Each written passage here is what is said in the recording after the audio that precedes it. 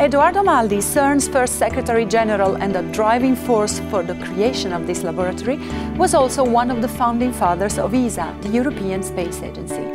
This Friday, March 23rd, a space ferry named after Edoardo Amaldi, the ATV-3, will take off from Europe's spaceport in Kourou on an Ariane 5 rocket to dock with the International Space Station five days later.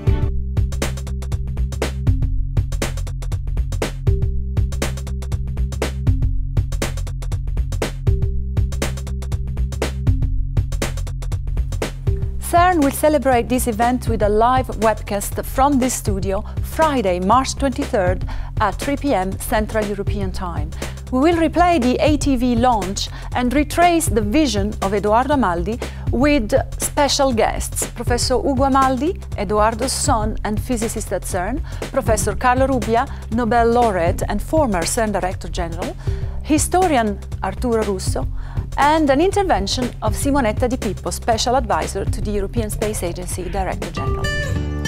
If you wish to know more about this pioneer of European science and the ATV launch, follow our live webcast and watch the launch replay with us this Friday, March 23rd at 3 p.m. Central European Time on cern.ch/webcast.